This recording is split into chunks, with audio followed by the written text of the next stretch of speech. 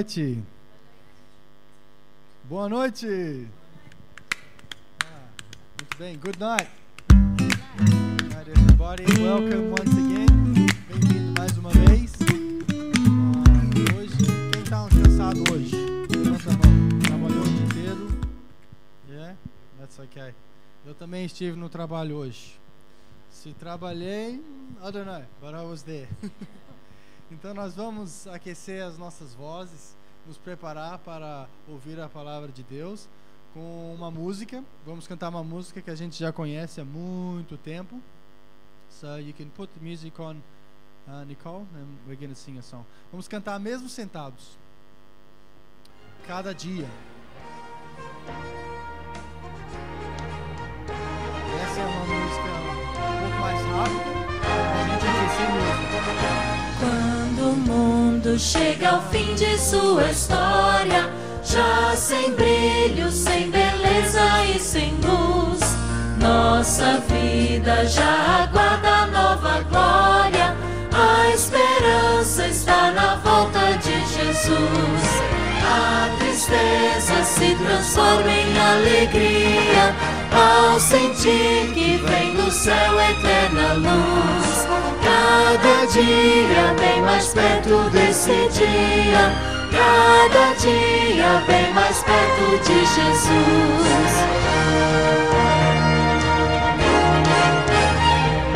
Quanto almejo ver Jesus naquele dia. Pai querido, Rei eterno Salvador, Toda luz que sua face irradia mostra ao mundo o poder de seu amor.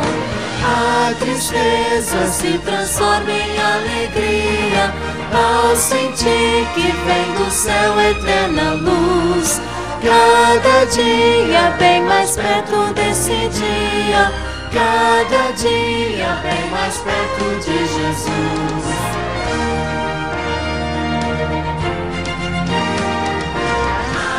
Tristeza se transforma em alegria ao sentir que vem do céu eterna luz. Cada dia bem mais perto desse dia, cada dia bem mais perto de Jesus.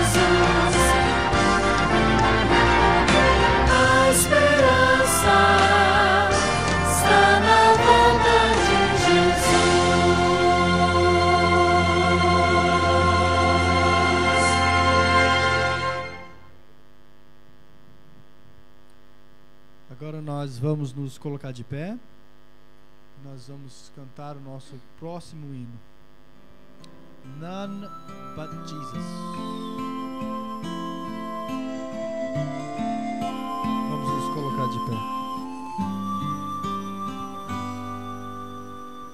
In the quiet, in the stillness, I know that you are God. The secret of your presence, I know. There I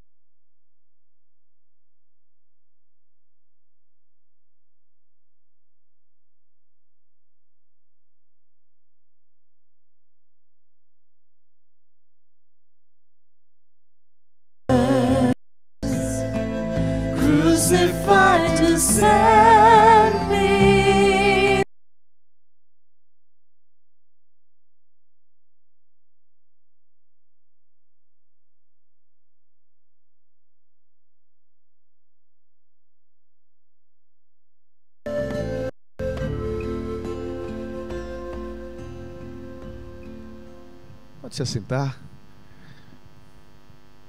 Boa noite, como você está? Tudo bem? Como passou o dia hoje? Bem? Graças a Deus, né? Às vezes eu fico lembrando da, do salmo, quando o salmista diz: Que bom, não é? Se pudesse passar todos os dias de sua vida na casa do Senhor, não é? E sempre que a gente tem uma semana como essa, eu fico pensando: como é bom quando a gente tem reuniões todas as noites. Se a gente pudesse ser sempre assim, já imaginaram? A igreja sempre aberta, todos os dias, e todos os dias o privilégio de estarmos juntos, louvando o nome de Deus, ouvindo a Sua palavra, usufruindo.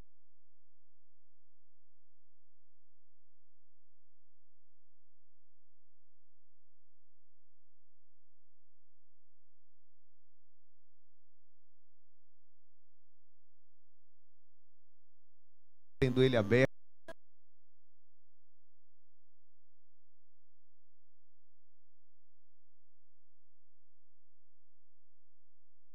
Nós vimos a casa de Deus para apresentar a Ele também algum pedido, algum anseio do coração, não é? Eu não sei, mas quantos têm um pedido talvez especial que nessa noite você gostaria de apresentar a Deus? Você tem algum pedido? Se você tem algum pedido especial, come sua fronte nesse momento. Vamos ter uma palavra de oração. Querido Pai, nós te agradecemos, Senhor, pelo privilégio de estarmos em tua casa nessa noite. Obrigado porque esse lugar se chama pelo teu nome, é uma casa de oração. E acima de tudo é um lugar onde nós podemos buscar a tua face, nos debruçar em teu colo e apresentarmos a ti, Pai, os anseios da nossa vida, as necessidades do nosso coração, as preocupações de nossa mente, sabendo, Senhor, que em ti há graça e poder suficientes.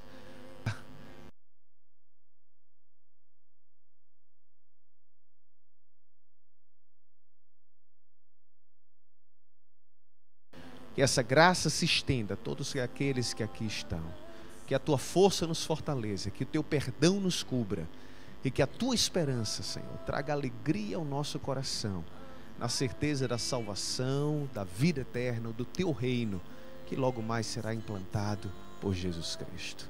Abençoe-nos nessa noite, abençoa a tua igreja, aqueles que estão conectados conosco, mas de uma forma especial. Abençoa mais uma vez o teu servo, pastor Rafael para que na apresentação da tua mensagem ele possa ser mais uma vez um instrumento em tuas mãos e que com o coração aberto, com ouvidos atentos, ao ouvirmos a tua palavra nessa noite, vamos colocar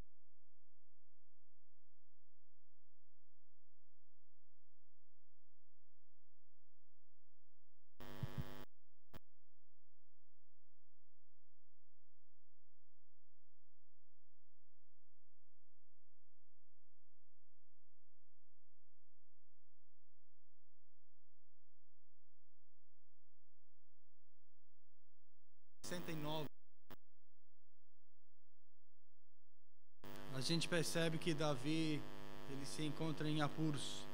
Quem aqui nunca esteve em apuro? Todo mundo, né? Davi escreve o seguinte: Livra-me, ó Deus, pois as águas entraram até a minha alma. Atolei-me em um profundo lamaçal, onde se não pode estar em pé. Entrei na profundeza das águas, onde a corrente me leva. Estou cansado de clamar. Secou-se-me a garganta, os meus olhos desfalecem, esperando pelo meu Deus.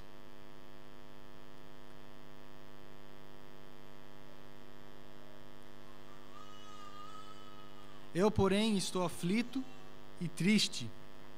Ponha-me a tua salvação, ó Deus, no alto retiro.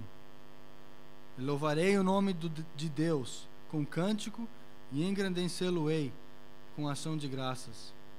Os mansos verão isto e se agradarão, o vosso coração viverá, pois que buscais a Deus, porque o Senhor ouve os necessitados e não despreza os seus cativos. O Senhor ouve os necessitados.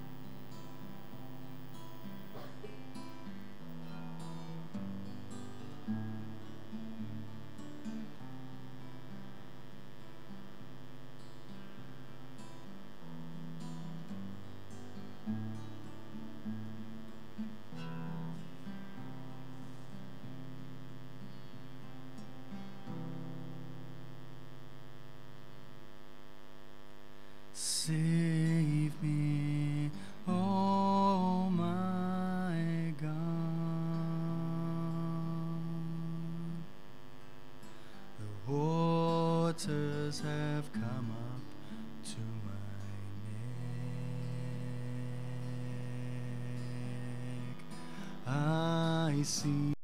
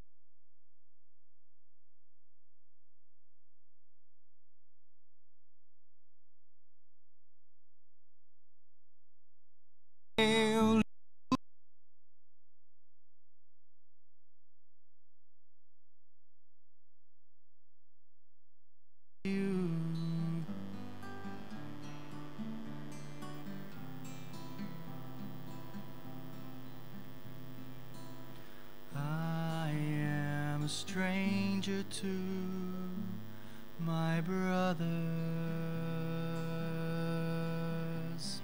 to my own family. Zeal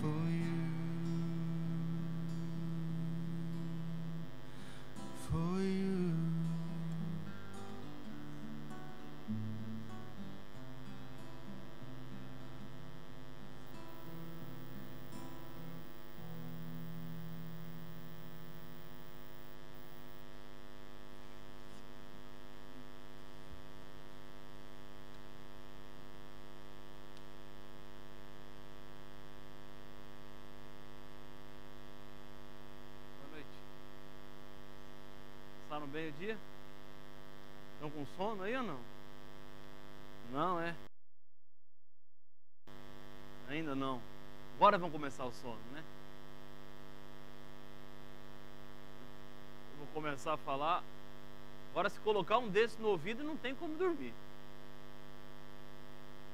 Que aconteceu com o fone? Com esse aí, ninguém dorme. Inclusive, se tiver quebrado assim, deixa comigo esse fone fazendo barulho desse jeito. Se alguém estiver dormindo, eu coloco assim no ouvido para ver se acorda. Mas é bom poder encontrá-los hoje à noite. Nós estamos hoje chegando na metade da nossa série de encontros. E essa semana nós estamos tendo uma série de encontros tratando de assuntos, de temas bíblicos. Estamos nos aprofundando um pouco mais na jornada. E agora, partir desta metade, nós vamos nos concentrar um pouco mais nas profecias do Apocalipse, o que isso tem a nos dizer. Estamos construindo noite a noite alguns conhecimentos que são importantes para darem base para a nossa fé. Os sinais da volta de Jesus, volta do Senhor. Nós entendemos a origem do mal e ontem o que é que Jesus veio fazer na terra como um ser humano. Vimos através da palavra de Deus que Jesus Cristo esteve aqui nesse mundo para viver uma vida sem pecado. Jesus poderia ter pecado, e se ele tivesse pecado, a porta aberta do céu estaria agora fechada, porque o ser humano pecador teria que morrer pelo seu próprio pecado. Mas Jesus Cristo viveu uma vida perfeita, uma vida na qual não se achou dolo algum, nenhum pecado. Por isso, aqueles que não pecam ganham como recompensa a vida eterna. Mas o problema é que todos nós seres humanos somos pecadores. E por sermos pecadores, nós merecemos a morte, mas não morremos porque Jesus Cristo assume sobre si, toma a nossa morte e coloca sobre os seus ombros. E agora, gratuitamente, ele oferece a vida eterna para toda a humanidade. Amigos, nesta jornada humana, não importa o quanto você tenha pecado. Você é pecador e o pecador tem que morrer. Uns pecam mais, outros pecam menos. Pecado de nada adianta. Pecar pouco enquanto outros pecam mais. Se você não aceitar Jesus como seu Salvador e Senhor pessoal. Se você não abrir o seu coração para que Ele entre e faça parte da sua vida. Pois é assim que nós encontramos o caminho de saída para esse mundo que está tomado pelo mal, mas que Deus não abandonou. Está aqui hoje à noite, nesta igreja, poder ter o privilégio de abrir a palavra de Deus, é demonstração desse amor que nos alcança. O Espírito Santo chamou você, em seu coração, te trouxe aqui para continuarmos ouvindo aquilo que Ele tem para nos dizer tema de hoje à noite é outro tema daqueles que evocam muitas perguntas, muitos questionamentos. E a pergunta que está por trás é: existe uma única igreja verdadeira? Ou basta falar o nome de Deus que já está bom? Será que Deus deixou no mundo diferentes caminhos que nos conduzem para o céu?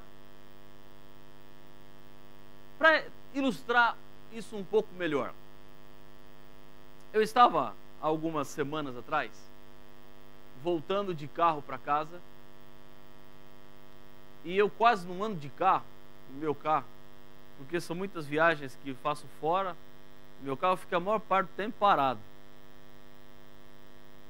Então eu não tenho muita coisa assim dentro do carro. E nem rádio gravada na memória eu tenho. Então eu liguei o, o rádio para voltar para casa. O trânsito de Brasília é um trânsito mais complicado que o trânsito de Sydney. Pode ter certeza disso. Porque eu moro a 20 quilômetros da sede da divisão sul-americana, onde eu trabalho e às vezes eu demoro duas horas para chegar em casa para fazer esses 20 quilômetros. Então, porque o horário que eu saio do escritório é o horário do trânsito pesado, não tem outro jeito, tenho que me contentar e ficar dentro do carro. E eu estava dentro do carro, liguei o rádio e comecei a mudar algumas estações para achar alguma coisa interessante para escutar, para ouvir.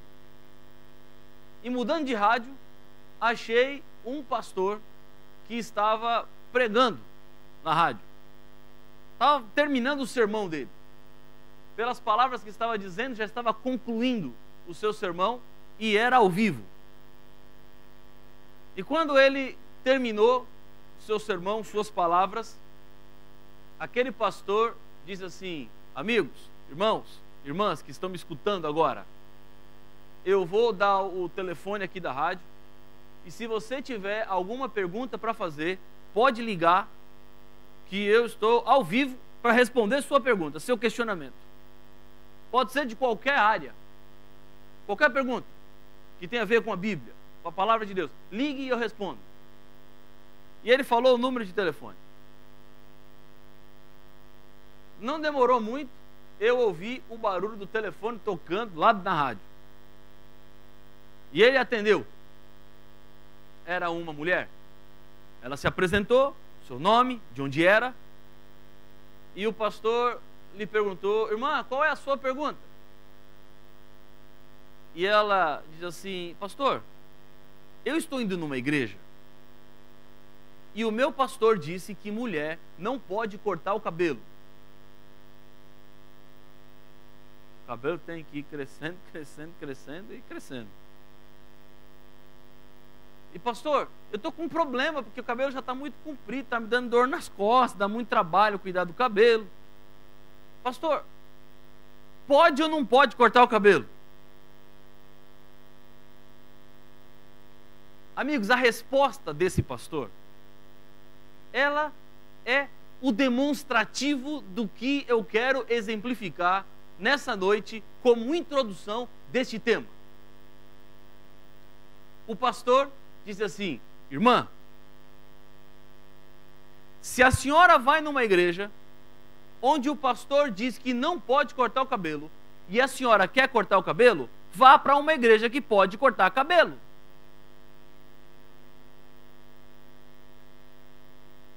Simples. Saia dessa igreja e vá para outra que pode. Aí vem a explicação. Irmã, Deus criou no mundo diferentes igrejas para que as pessoas escolham a igreja que melhor se adapta a elas. Portanto, se essa aí que a senhora está não está se adaptando à senhora, saia dela e vá para uma que se adapta.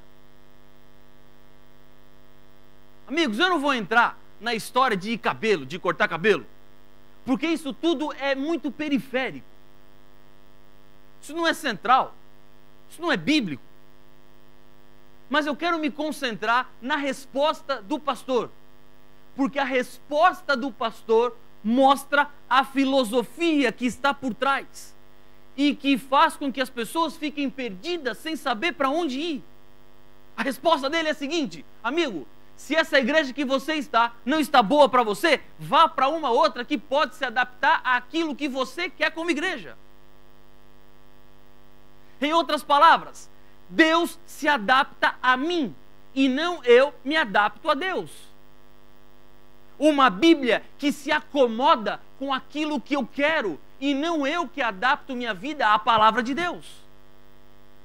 Viram o perigo? É como escolher religião exatamente como você compra batata. É uma ilustração.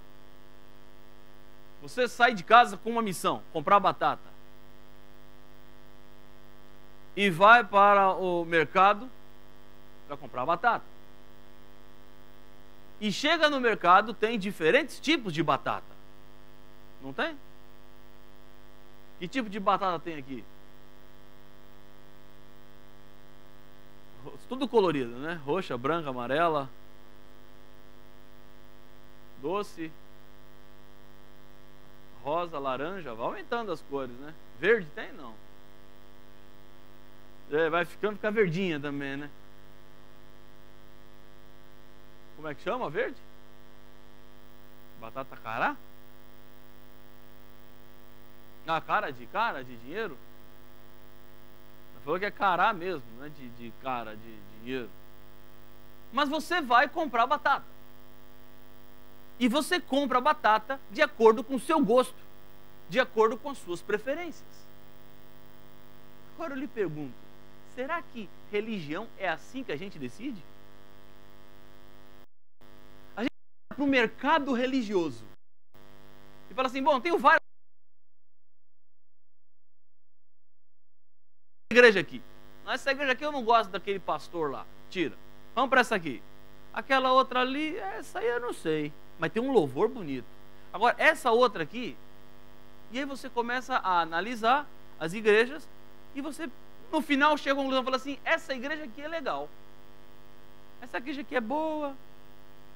Não fala nada difícil. Tudo, pode fazer tudo que eu gosto, que eu acho legal. Então, essa igreja assim é a igreja que eu vou escolher. E agora nós voltamos à resposta do pastor na rádio, que dá validade a isso. Porque você escolhe a igreja que você mais gostar. Agora, isso é bíblico? Escolher a igreja que você mais gosta? Depois que o pastor deu essa resposta, eu fiquei torcendo para ele dar o número de telefone de novo, porque eu queria ligar agora na rádio. Eu fiquei com vontade de entrar ao vivo também. E eu queria fazer algumas perguntas para o pastor, baseado na resposta que ele deu. Mas ele não deu o número de telefone. E eu não tinha anotado da outra vez, não sabia o número. Fiquei ouvindo para ver se dava o número e eu cheguei em casa e nada do telefone e eu fui embora e larguei para trás aquele programa de rádio. Mas fiquei com a resposta do pastor. Um Deus que se acomoda a você.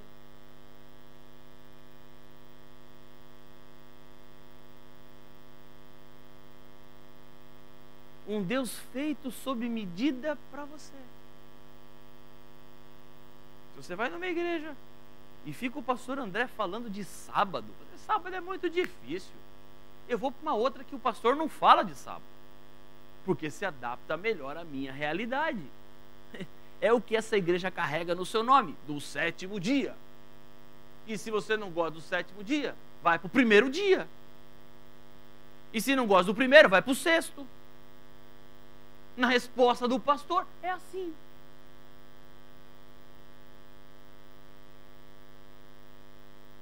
Só que quando eu olho para a Bíblia, eu percebo que essa não é a realidade daquilo que Deus deixou. Há um caminho, há uma trajetória. E eu não estou dizendo para você que a trajetória é fácil. Porque o próprio Senhor Jesus disse que existem dois caminhos: um largo e o estreito. E o caminho que leva para o céu, qual que é?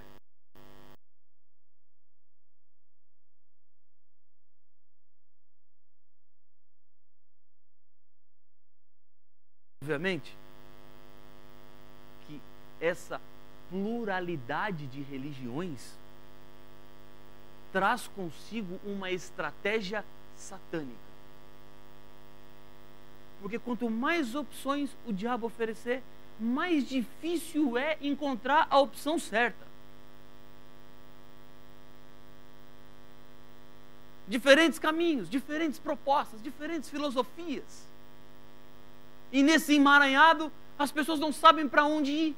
E no final, eles caem na armadilha que aquele pastor deu como resposta. Escolha que melhor se adaptar a você. A que você gostar mais, vai nela. Só que não há uma preocupação em saber, é esse o caminho de Deus? É essa a verdade revelada do Senhor? É essa a igreja que ensina a palavra de Deus tal qual ela é?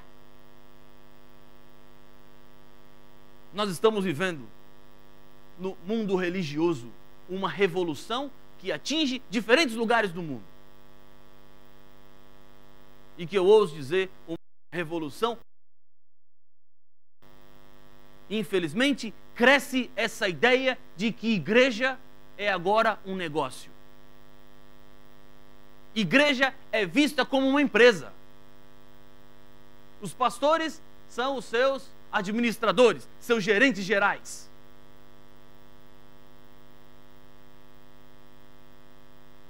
Cresce uma tal teologia da prosperidade. Influenciada por um pastor norte-americano chamado Mike Murdock, que ensina que as pessoas prosperam financeiramente à medida de que aumentam suas contribuições à igreja. Quanto mais você der, mais Deus vai te dar. Mais Deus vai te abençoar. Dar validade a essa pregação, começam a se multiplicar.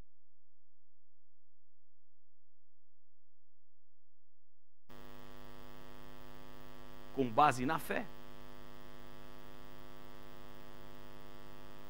algumas semanas atrás no Brasil, ocorreu uma notícia que deixou o mundo evangélico religioso em polvorosa. No Brasil, os evangélicos estão crescendo de maneira exponencial. Quando em 1892 foi promulgada a República no Brasil, os evangélicos representavam 2% da população. Hoje, no Brasil, os evangélicos já estão chegando a 30%. Para você entender.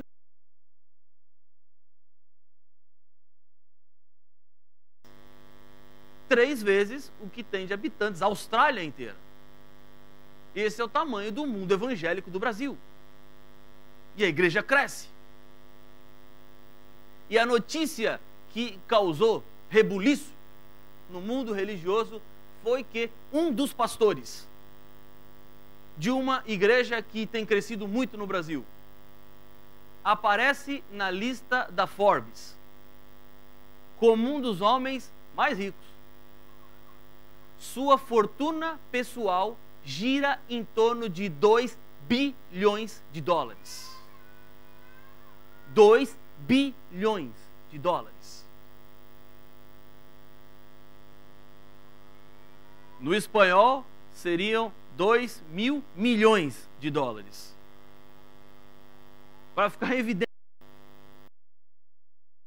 Olharam para essa notícia e se assustaram. Porque ele não era o único que aparecia lá. Outros três pastores apareciam também na lista. O outro com 750 milhões de dólares como fortuna pessoal, um outro com 500 milhões e o outro 350 milhões de dólares.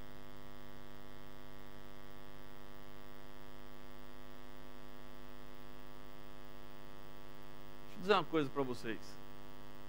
No Brasil, quando eu falo que sou pastor, as pessoas já me olham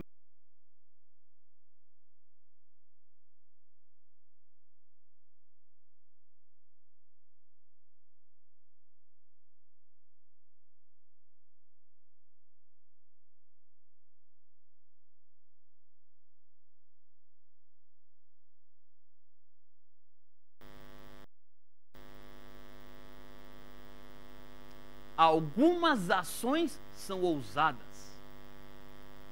Hoje à tarde eu mostrei para o pastor André. Eu não sei quantos estão acompanhando, mas uma igreja no Brasil resolveu reconstruir o templo de Salomão. Exatamente com as mesmas medidas do templo bíblico no centro de São Paulo. Todas as pedras estão vindo de Israel por navio. O custo da obra vai chegar a um bilhão de reais. já está com 55% da obra. No website tem uma webcam que fica 24 horas por dia mostrando a construção. Você pode acompanhar em tempo real a construção. Ver o pessoal trabalhando. E a construção é sete dias por semana, 24 horas, não para. Eles querem terminar em menos de um ano.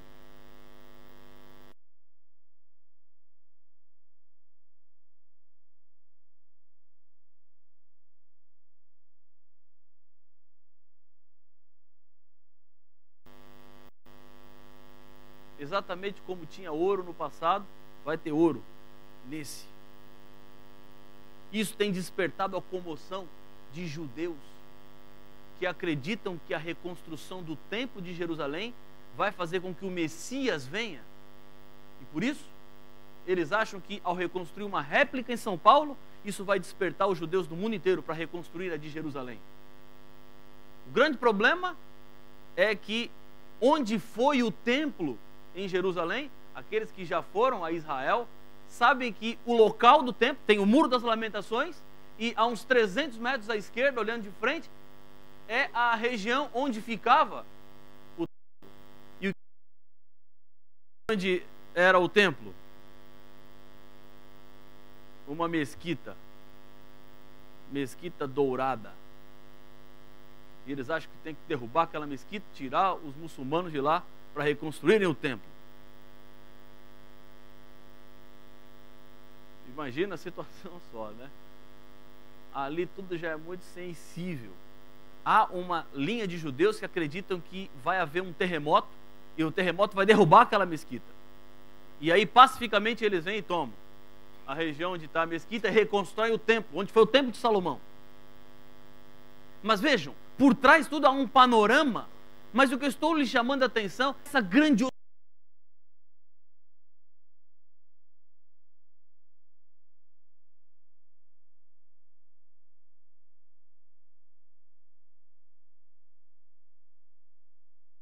dinheiro que essa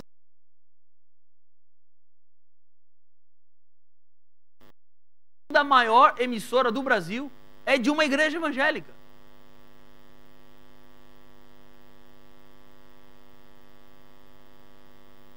Temos condição.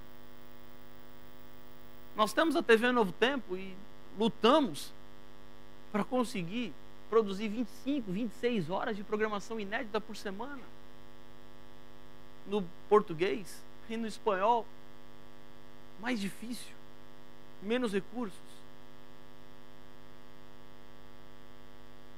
Olhamos para tudo isso e nos perguntamos: o que está acontecendo?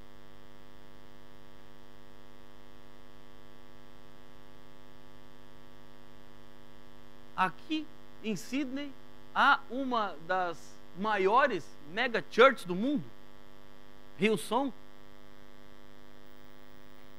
estrutura, palco, luzes. Cada semana uma nova temática. Um louvor impecável. Um instrumental grandioso.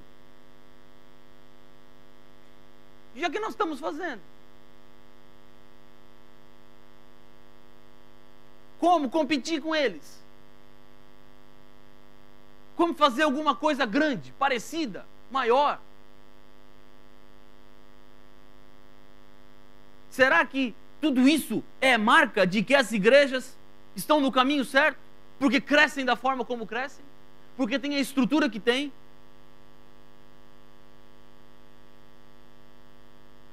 Amigos, deixe de olhar para o que nos cerca.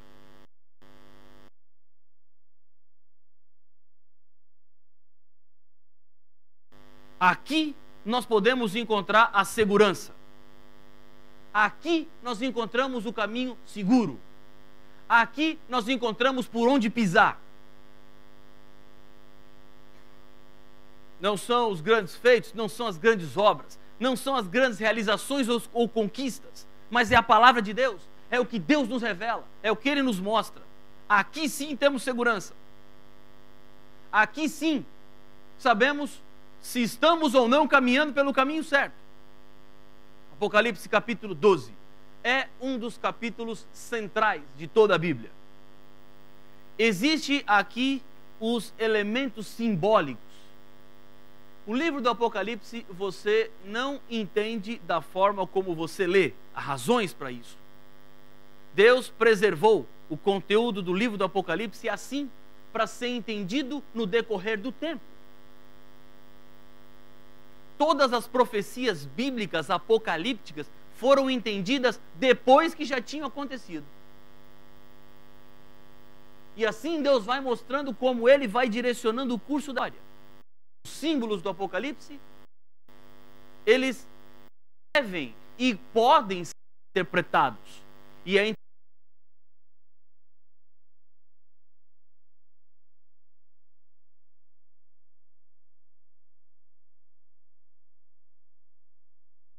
desconexas que por si só não significam nada, mas quando interpretados, os símbolos tomam vida e fazem com que a mensagem do Apocalipse ganhe os nossos olhos e nos faça entender o panorama de tudo que está nos cercando. Vamos ao verso 1. Viu-se grande sinal no céu, a saber, uma mulher vestida do sol, com a lua debaixo dos pés e uma coroa de doze estrelas na cabeça. Está vendo como tem que interpretar? Porque se interpretar, o que, que isso significa? Nada. Uma mulher vestida de sol, com a lua, com coroa. Não dá nem para imaginar essa cena. Como é que alguém se veste do sol? Mas há aqui uma simbologia por exemplo, vamos ao primeiro símbolo: mulher. O que significa mulher? E onde isso está escrito que mulher é igreja?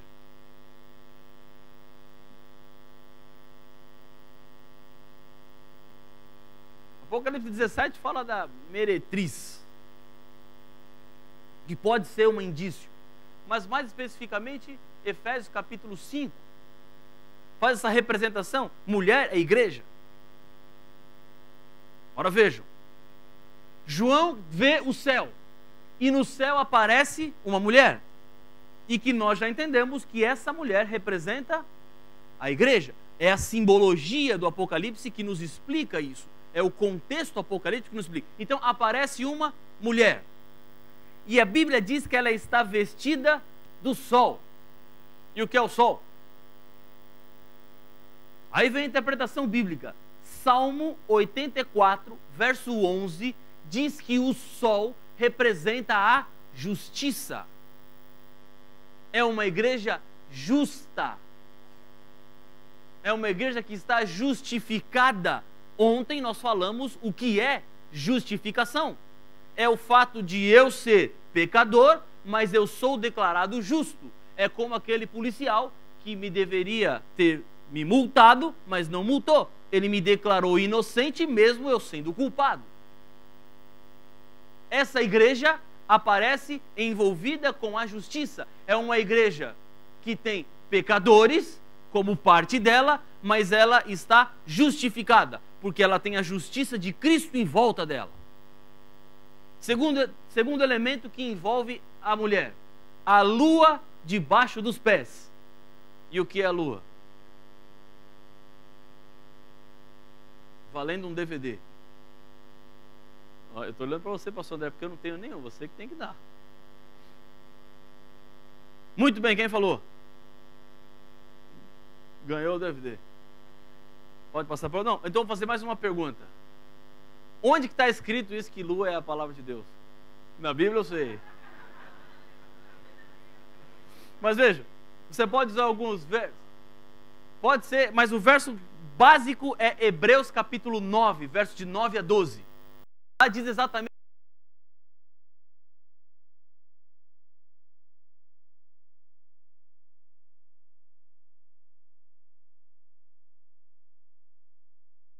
Não.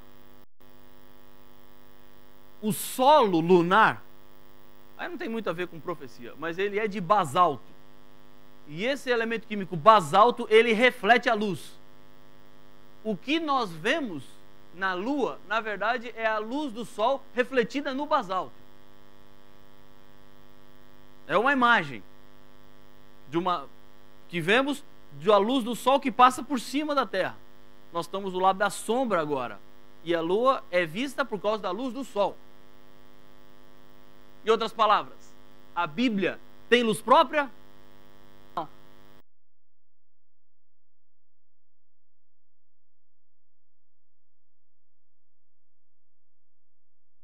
A Bíblia é feita como qualquer outro livro. Entra o papel, vai na, na máquina gráfica, imprime. A Bíblia por si só não tem nada demais. Mas o que faz da Bíblia diferente dos outros livros? O conteúdo dela. Não é a forma, é o conteúdo. Porque o conteúdo da Bíblia é a palavra de Deus. Ou seja, a Bíblia é uma lua porque ela reflete em nós a luz que vem de Deus. Por isso a lua está embaixo dessa igreja. A mulher, a igreja verdadeira, a igreja verdadeira que está envolvida com a justiça de Cristo é embasada pela Bíblia. Em outras palavras, a igreja verdadeira não é aquela que se adapta a você. Não é aquela no qual o pastor pensa assim: eu não vou pregar esse assunto porque esse assunto é difícil. Ou eu não vou ensinar essas coisas porque para as pessoas vai ser muito complicado viver. Então eu vou ensinar apenas o que elas querem ouvir. Eu vou acomodar a pregação bíblica para que todo mundo viva em paz e tranquilo.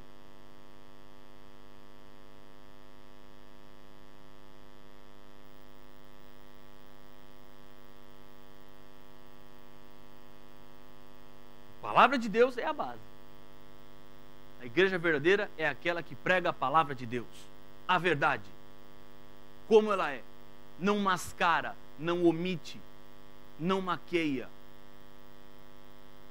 Mas a verdade é estampada como foi revelada. Continua dizendo: que achando-se grávida, grita com as dores de parto, sofrendo tormentos para dar à luz. Agora tem um elemento novo. A mulher está grávida. E o que significa essa gravidez da mulher?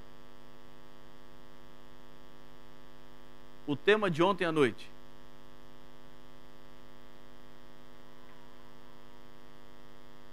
A gravidez da mulher é o nascimento do descendente da mulher. E esse descendente foi predito por Deus quando Adão e Eva tornaram-se pecadores. Gênesis capítulo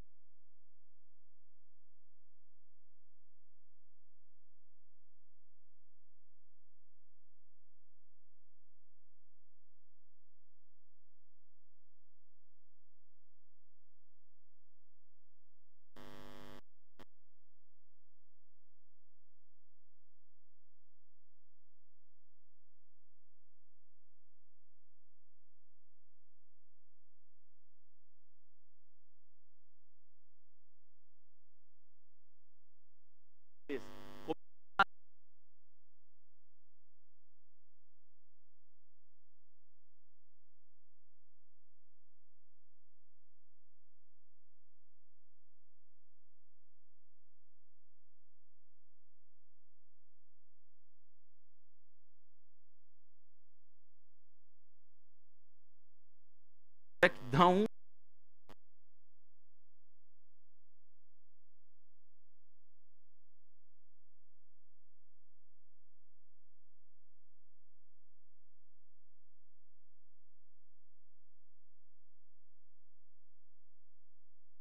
gente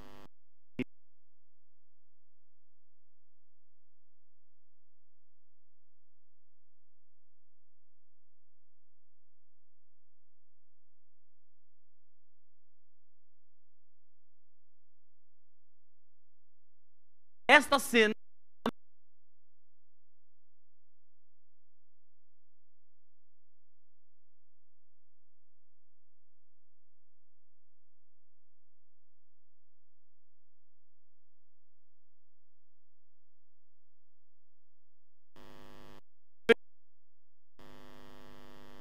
dizendo a Bíblia. Verso Viu-se também outro sinal no céu. Dragão. E aí descreve o dragão. Grande, vermelho, com sete cabeças, dez cabeças, sete diademas. A sua cauda arrastava a terça parte das estrelas do. Essa aqui é uma descrição.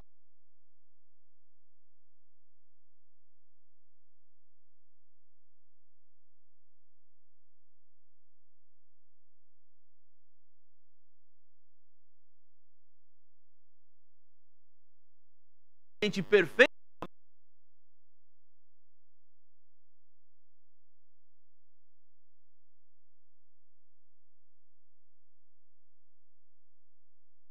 contra Deus. A sua escolha fez com que o seu coração se enchesse de maldade. E ele dissemina a ideia entre os anjos. E de cada três anjos, um vai atrás de Lúcifer. Rebela-se com ele. Verso 4, segunda parte. E o dragão se deteve em frente da mulher que estava para dar à luz, a fim de lhe devorar o filho quando nascesse. Amigos, a, a, a imagem vai ficando mais clara. Por que o dragão queria devorar o filho da mulher? Porque se ele nasce e o dragão o destrói, ele não conseguiria esmagar a cabeça da serpente. E qual foi a estratégia? Lembram quando o Senhor Jesus nasceu? Nasceu numa viagem que José e Maria tiveram que fazer até Belém, porque eles eram de Nazaré e a profecia bíblica disse que o Messias nasceria em Belém. Jesus nasce, eles voltam a Nazaré e quando chegam a Nazaré, sabem de um decreto. Qual decreto? O Herodes havia determinado que as crianças deveriam ser mortas. E como é que eles sabem do decreto? Através de um sonho que Deus deu para José. E diz assim: José, pega a mulher e o menino e vai para o Egito. Foge, porque Herodes está procurando matá-lo. Agora vejam, por que esse decreto foi dado? Exatamente quando Jesus nasce é o dragão que coordenou tudo por trás para que Jesus morresse sem cumprir sua missão de viver uma vida sem pecado, de ser tentado e não ceder à tentação. Porque a vida sem pecado de Cristo daria a ele vida eterna. O diabo estava por trás. Mas Deus fez com que ele fugisse. Sua vida fosse preservada. E diz a Bíblia, verso 5: Nasceu-lhe, pois, um filho varão. Jesus nasceu. Que há de reger todas as nações com cetro ferro. Tempo. Porque Jesus viveu, cumpriu sua missão e esmagou a cabeça da serpente. E a Bíblia nos garante isso, dizendo assim: E o seu filho foi arrebatado para Deus até o seu trono. Quem senta no trono? O rei, o vencedor. Quando um povo era vencido por outro povo, quem assumia o comando era o rei vencedor. E o rei perdedor, destituído, morto, colocado para fora. É assim a história dos impérios, dos reinos, das nações que subiram e desceram. Quando a Bíblia diz que Jesus foi ao céu e sentou à direita de Deus, significa que ele cumpriu a missão. Ele volta para reinar. Ele senta à direita de Deus, no trono do comando do universo. Porque a vida de Jesus foi achada digna de salvar o ser humano? Jesus pode abrir o livro que está nas mãos do Pai, porque ele volta para o céu como vitorioso. Mas diz a Bíblia: a mulher, porém, fugiu para o deserto, onde lhe havia Deus preparado lugar para que nele a sustentem durante 1260 dias. Agora existe um elemento novo.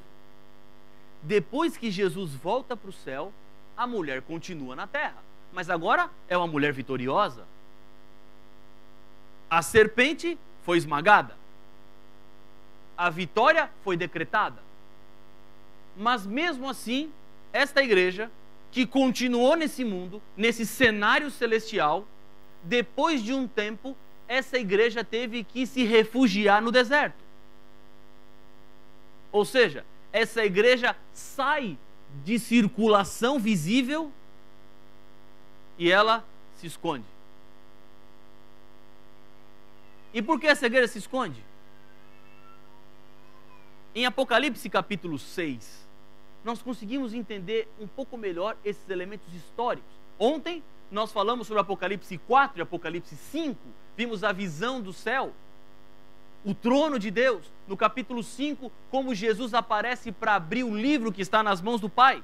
E Jesus começa a abrir o livro que tinha sete selos. Cada um daqueles selos representa um período histórico. E esses selos nos contam a história de como a igreja foi parar no meio do deserto. O primeiro selo é representado por um cavalo branco, e o branco deste cavalo representa a pureza, a pureza da qual a igreja estava envolvida, pregando a verdade tal qual a palavra de Deus. O segundo selo é aberto e surge um cavalo vermelho, e o vermelho representa sangue, porque no segundo século começam as perseguições intensificadas contra os cristãos. É nessa época que é construído o Coliseu Romano, um palco do qual os cristãos eram assassinados e aplaudidos por uma plateia que queria ver morte e sangue. Depois, abre-se o terceiro selo e surge um cavalo preto. E esse cavalo preto representa a escuridão da qual a igreja foi envolvida. Amigos, vejam, o período branco a igreja pregava a verdade. No vermelho, a igreja estava sendo perseguida por pagãos. A igreja era morta por pagãos. Vermelho. Mas vem o terceiro período, que é este período do cavalo preto, de escuridão. E o que acontece nesse terceiro período? É exatamente nessa época que a igreja tem que se refugiar no deserto. O imperador era Constantino. Ele era pagão. Pagãos perseguiam cristãos. Um dia, Constantino estava dormindo e ele sonhou e viu no céu uma cruz. E embaixo dessa cruz, escrito em latim, in hoc signos vinces. Significa, sob esse sinal vencerás. E Constantino, que dormiu pagão, acordou cristão. Agora vejam o problema. Os cristãos eram perseguidos. E agora, o imperador era cristão. Sabe o que aconteceu? Os cristãos.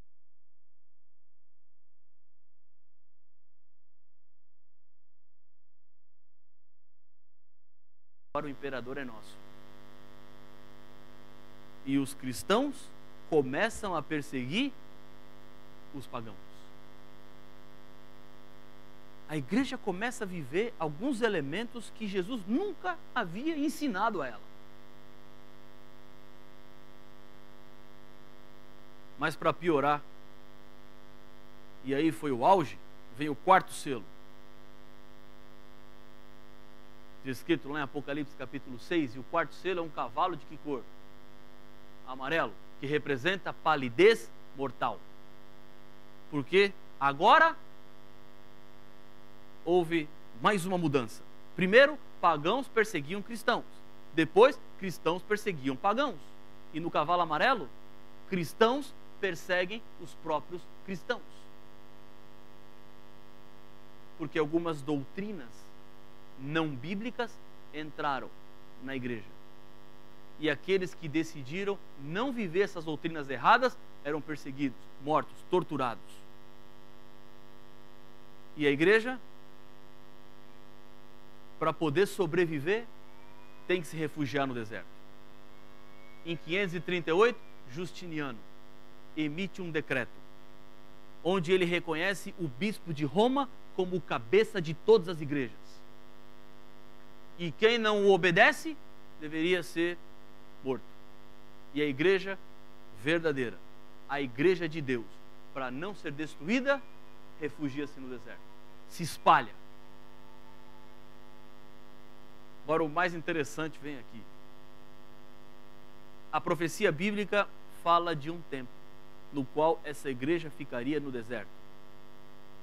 1260 dias. Para 1260 dias, não é um período de três anos e pouco. Esse período seria muito pouco para uma igreja refugiada no deserto. Este período é aquilo que chamamos de um período reduzido, assim como todos os outros elementos da profecia. Há um reducionismo. Jesus foi reduzido a um bebê, a igreja foi reduzida a uma mulher. Isso significa que o tempo também foi reduzido. Se são dias, na verdade eles apontam para um período maior. E a Bíblia nos diz, lá em Ezequiel capítulo 4, versos 6 e 7, números 14 e 34, que um dia equivale a um ano. Há essa redução. Então, aplicando esse princípio, ampliando o que é mulher, torna-se igreja, criança, torna-se Jesus, dragão, torna-se o diabo, o dia torna-se ano. 1260 dias são 1260 anos. Amigos, e aqui não há jogo, não há, bala, não há malabarismo matemático, não há suposição, são dados históricos. Em 538, a intensificação da perseguição. 1260 anos, vai cair exatamente em 1798. Que já acontece em 1798. O auge da Revolução Francesa. A França que se espalhava sob o domínio de Napoleão Bonaparte. Mas havia alguém que estava atrapalhando o Napoleão. E esse alguém era o bispo de Roma. Na época, o Papa Pio VI.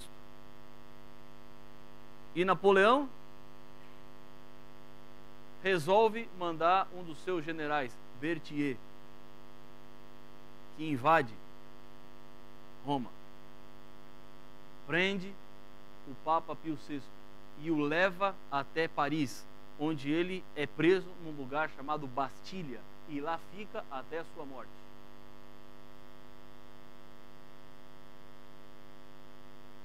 Com isso, a figura religiosa mais importante do mundo estava agora dentro de um cárcere.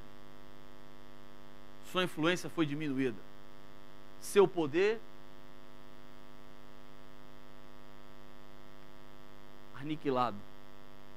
Que depois será restaurado. Começa um processo de cura em 1929, quando é assinado por Benito Mussolini o Tratado de Latrão. E ele devolve ao bispo de Roma uma parte para que o seu império possa ser reconstruído 44 quilômetros quadrados de terra, chamado de Vaticano. Mas vejam, em 1798, quando sai de cena a figura bispo de Roma, a igreja que estava no deserto pode voltar. A igreja não precisa mais se esconder. E a igreja volta para restaurar as verdades. Duas observações eu preciso fazer nesse momento. Primeiro, a igreja de Deus existe. Segunda observação, a igreja de Deus sempre existiu. Não houve um dia na história desse mundo que essa igreja não tenha existido. Sempre existiu. Antes de Jesus e depois de Jesus. No período dos cavalos, branco, vermelho, preto e amarelo, no deserto e na volta do deserto. Sempre existiu. Deus sempre teve seu povo. Deus sempre teve suas mensagens. Deus sempre teve o seu caminho claro. Só que depois de 1798, essa igreja volta com o objetivo de restaurar as verdades que foram esquecidas, mas que estavam sendo vividas no deserto. Quando a igreja se refugiou, se escondeu, para que ela pudesse continuar existindo, as verdades foram esquecidas e esquecidas cada vez mais. E quando essa igreja volta, tem a missão de restaurar e fazer com que as pessoas se lembrem daquilo que a palavra de Deus traz como revelação. Verdades têm que ser restauradas. Verdades da brevidade da volta de Cristo. Verdades quanto ao guarda do sábado. O entendimento para onde vai uma pessoa quando morre. A compreensão de quem é Jesus, o que ele faz no santuário celestial. Qual é a aplicação disso tudo para a minha vida? Uma igreja que nasce alicerçada no que é a palavra do Senhor. Deixa eu dizer uma coisa para vocês. Eu digo isso no Brasil e nos países que eu vou por aí, como eu não posso dizer, eu eu prometo outras coisas. O que, que eu falo lá no Brasil? Eu digo assim, amigos, eu sou adventista do sétimo dia, antes de ser pastor, mas eu sou e entendi que a igreja que prega a verdade é essa daqui. E se você me mostrar um verso que fale alguma coisa diferente do que essa igreja tem ensinado, isso eu digo lá no Brasil, eu te dou o meu carro. E como aqui eu não tenho carro para dar, eu te dou o carro do pastor André.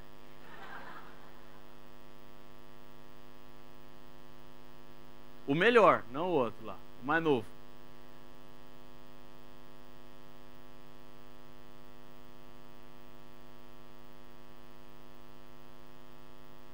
Amigos, é certeza. Eu não tenho dúvidas. A igreja que volta do deserto é esta igreja. A verdade é pregada. A verdade é ensinada. O horário hoje está passando um pouquinho só do nosso planejado. Mas eu quero contar duas histórias e vou encerrar. Eu era pastor de uma igreja e eu planejei fazer uma série de 15 noites nesta igreja. Fiz faixas, espalhei pela cidade, anúncio na rádio, volantes, convidando as pessoas para virem na série de estudos que íamos estudar sobre as profecias do Apocalipse. Primeira noite, abrimos a igreja e as pessoas vieram. A igreja estava cheia. Ela não enchia normalmente, mas muitas pessoas vieram. E eu saudei, disse boa noite a todo mundo. E quando ia começar a apresentar o tema, uma senhora da minha esquerda levantou a mão. Amigos, toda vez que eu estou falando e alguém levanta a mão e pede a palavra, me dá um frio na espinha. Porque eu nunca sei o que vai acontecer. Se é quem eu conheço, eu me sinto tranquilo, tudo bem. Mas se é quem eu não conheço, e era o caso daquele dia, eu nunca tinha visto aquela senhora, estava vindo para o nosso seminário. Eu não sabia quem era, estava no começo com a mão levantada pedindo a palavra. O que, que eu faço numa situação dessas, né? Falei, pois não. Aí ela ficou em pé e falou assim: Ô pastor, deixa eu lhe dizer uma coisa. Eu moro nessa cidade aqui há mais de 40 anos. Eu conheço todas as igrejas daqui. Agora, o senhor não acha muita pretensão só essa igreja adventista aqui falar do sábado e mais ninguém falar do sábado?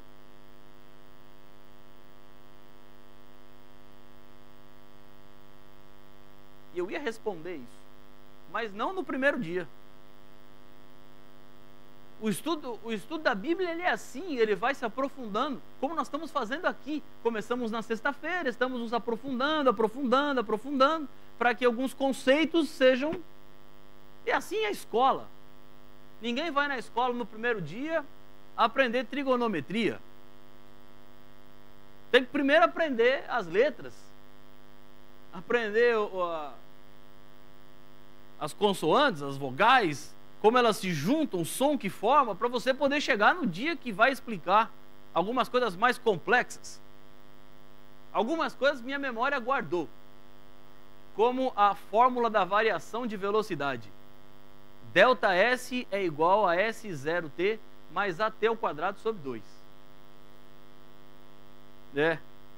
E tem aquela outra fórmula de Bhaskara, né? Menos B mais ou menos raiz de delta que é b ao quadrado menos 4ac sobre 2a. Lembrava dessa aí? Essas coisas que vão ficando aí na memória, né? E como eu, não, eu não fui para a área exata, fui para a área humanas, né? Mais da, da parte teologia, aí ficaram as coisas mais da parte teologia. Mas, amigos, a teologia também tem que decorar muita coisa. Pergunte depois ao pastor André. Se você acha difícil aprender o inglês, amigo, aprender grego e hebraico, decorar aquelas letrinhas hebraicas, Aleph, Bet, Gimel, Dalet, Re, Vav, Zain, Het, Tet, Yod, Kaf, Lam, Men, Nun, San, Caim, Petsa, De, Kof, Rei, Shin, Tal. Essas são as, essas são as 22 letras do, do famoso alfabeto hebraico. Mas vamos voltar para a história. Deixa isso aí para lá. E ela fez essa, aquela pergunta progressiva, só que já no primeiro dia. E eu não podia dizer, não vou responder, porque eu tinha no auditório, muita gente estava vindo pelo primeiro dia, se eu não respondo, o pessoal fala assim: ah, tá vendo, esse pastor não sabe. E poderia comprometer todo o meu seminário de estudos. Mas se eu respondo também, no primeiro dia, eu não dei alguns conceitos importantes para que as pessoas entendessem minha resposta. Eu estava pensando o que, que eu ia dizer. Agradeci a pergunta. Na verdade, não queria agradecer, mas agradeci.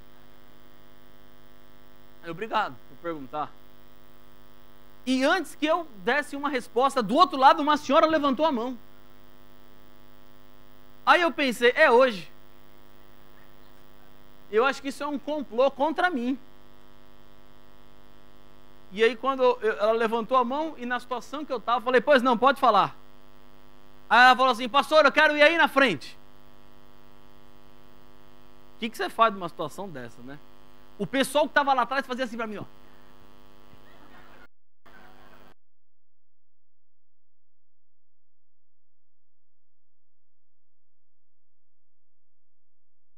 Senhor, me protege, eu vou perder esse seminário todo aqui. Tanto investimento, tanto dinheiro gasto, vai acabar tudo no primeiro dia. Mas, amigos, não acabou. O que aconteceu ali, eu devia ter uma câmera para filmar aquilo. Se fosse aqui nessa igreja, estava salvo. Porque dá tudo gravado. Mas lá não tinha gravação nenhuma.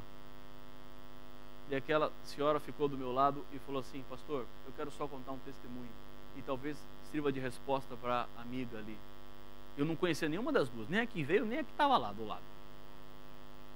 E foi tão forte que eu tive que no final falar que aquilo não era combinado, porque pareceu que era combinado aquilo. Porque a resposta que ela deu era a resposta que eu queria. aquela mulher falou assim: Pastor, hoje é o primeiro dia que eu estou vindo nessa igreja. É o primeiro e é aqui que eu vou ficar. Viu? Na hora fiquei feliz, fazer vontade do meu lado, né?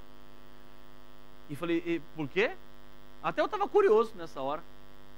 Ela falou assim: Pastor, porque eu comecei há um tempo atrás a fazer o meu ano bíblico. Eu decidi que ia ler a Bíblia toda. E comecei em Gênesis 1 e fui avançando na leitura, capítulo a capítulo. E me chamou a atenção, pastor, que a palavra sábado aparecia várias vezes. Sábado, sábado, sábado, sábado, sábado. E eu peguei uma concordância bíblica e comecei a ler textos do sábado em toda a Bíblia. E ontem à noite eu procurei o meu pastor da minha igreja, pastor tal da igreja tal. Falou o nome.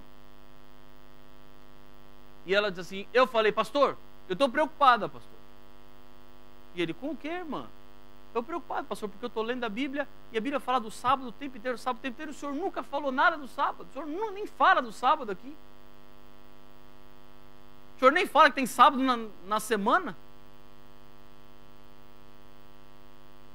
E aí o pastor me deu uma resposta, disse ela. E a resposta que ele deu é a razão por que eu vim para cá. E eu perguntei, mas qual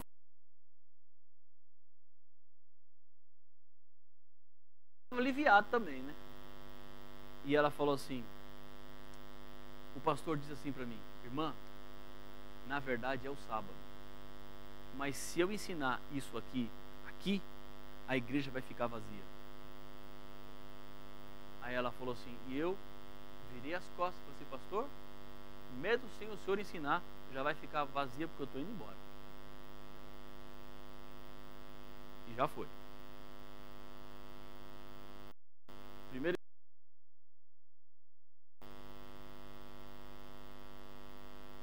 Eu fui fazer uma série semana. E na quarta-feira daquela semana, uma mulher se levantou na hora do apelo, depois de uma cerimônia batismal, e veio à frente, decidindo-se pelo batismo. O nome dela, Fernanda, veterinária, dona de um pet shop grande na cidade, casada com um engenheiro que trabalha na Embraer, monta aviões no Brasil. Ela veio ao apelo, decidiu-se, e eu a cumprimentei, e ela falou assim, pastor, depois eu queria conversar. Bom, terminou, eu conversei, ela falou assim, pastor, eu vim aqui na frente que eu quero me batizar, mas eu acho que eu não vou poder me batizar. E eu falei, por quê? Ela falou assim, pastor, porque se eu me batizar, eu vou ter problema em casa com meu marido. Porque o meu marido, ele é agnóstico. E essa não é uma palavra comum de se ouvir por aí. Agnóstico. E eu disse assim, mas por que ele é agnóstico? Ela falou assim, pastor, o meu marido é um homem muito inteligente. E ela foi me dando o currículo dele. Ele era engenheiro, formado pelo ITA, que é uma das faculdades mais renomadas do Brasil. Eles moraram muito tempo fora do Brasil. O homem tinha pós-doutorado na Europa.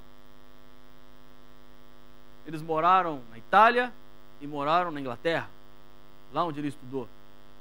Tinha um currículo grandioso. Era um dos principais executivos daquela empresa. Ela falou assim, pastor, meu marido, ele é agnóstico, racional e acha que religião é uma farsa. Que igreja não presta. E se eu falar para ele que eu vou ser batizado, ele vai tentar me convencer, não, eu vou ter problema no meu casamento. Porque ele é irredutível quanto a isso.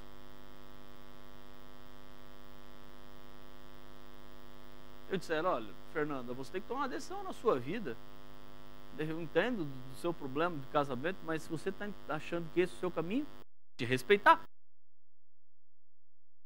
Convencer do contrário. E ela falou assim: Ah, pastor, eu não sei, eu estou em dúvida se eu me batizo ou não batizo, se eu vou ou não vou. E eu falei assim: Fernanda, você conversa com ele. Veja o que ele tem para dizer. E ela falou assim: Bom, pastor, eu vou, eu vou falar com ele e, e vou, vou ver. Vou sentir como é que é. Na quinta-feira, eu não a encontrei. Na sexta-feira à noite, eu estava no quartinho, no fundo da igreja, me preparando para entrar para pregar, e a Fernanda entrou. E ela falou assim: Pastor, eu tenho que te contar uma coisa. Eu falei: O quê? Ela falou assim: O meu marido, Oswaldo, quer se batizar também. E eu, na hora, falei assim: Mas como? O agnóstico? Ela é. E eu não entendi. Falei assim: Mas eu tenho que entrar para pregar? Espera aí que nós vamos conversar depois. E eu entrei para pregar. E quando eu terminei, nem fui à porta. Mandei o pastor da igreja ir à porta. Que é da turma do, do, do teu mestrado, pastor Genival. Mandei ele para a porta e falei, eu vou ficar aqui conversando com a Fernanda. E fiquei. E falei, Fernanda, que história é? Você falou que você estragasse seu casamento, que falasse que ia se batizar, agora você me fala que seu marido quer se batizar? Eu falei, é, pastor, deixa eu lhe contar. Eu cheguei em casa na quarta-feira, do culto, sentei no sofá da sala e falei, Oswaldo, vem cá, quero conversar com você. E ele veio e sentou. Eu falei assim, pastor, a gente não conversa no, no sofá. E ele percebeu que era uma conversa séria, porque eu chamei para na sala, e eu sentado no sofá. E eu falei assim, Oswaldo, eu quero te contar uma coisa. Aí o Oswaldo, eu já sei que você vai me contar. Aí ela falou assim, o que, que eu vou te contar? Que você vai se batizar na igreja. Ele sabia que ela estava indo. E ela falou assim, como é que você sabe que eu decidi que vou me batizar? Aí ele falou assim, porque eu estava vendo pela internet. E vi quando você foi lá para frente. Amigos, amigas, o dia que ela foi lá para frente foi o dia que eu falei sobre a igreja verdadeira. Eu não sabia que ele estava vendo pela internet. Eu não sabia que ela ia se decidir. Eu não sabia que ele era agnóstico. Eu não sabia que ele achava que religião era farsa. Mas estudamos Apocalipse 12. E ele lá, colocando no Google para ver se as datas batiam daquilo que eu falava. E quando chegou no final, quando ela falou a notícia, ele falou assim: tem mais uma coisa. Essa igreja que você está indo é uma igreja séria. Porque eles ensinam a verdade. E eu também quero ir nessa igreja com você. Naquela sexta ele não foi, mas no sábado à noite ele foi. E eu conversei com ele. E tinha outro engenheiro, formado no ITA, duas turmas antes da dele. E já falei assim: ó, você vai cuidar dele, vai na casa dele, visita, cuida dele. Inclusive, esse engenheiro mora em Taiwan agora. Mas foi, acompanhou, visitou, deu estrutura para que Oswaldo e Fernanda tomassem uma decisão ao lado do Senhor Jesus. É a mensagem de Deus, igreja verdadeira, que solidifica o nosso caminho, que dá base para as nossas escolhas. Quer ganhar o carro do pastor André?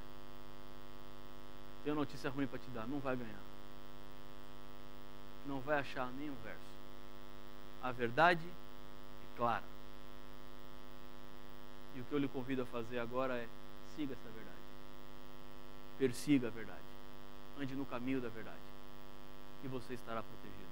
Senhor Pai nosso. Obrigado pela mensagem que vem da tua palavra. Porque a tua profecia abre-se diante de nós e nos mostra o caminho seguro no qual podemos trilhar e assim andarmos debaixo da tua vontade, da tua graça, protegidos e amparados pelo teu amor.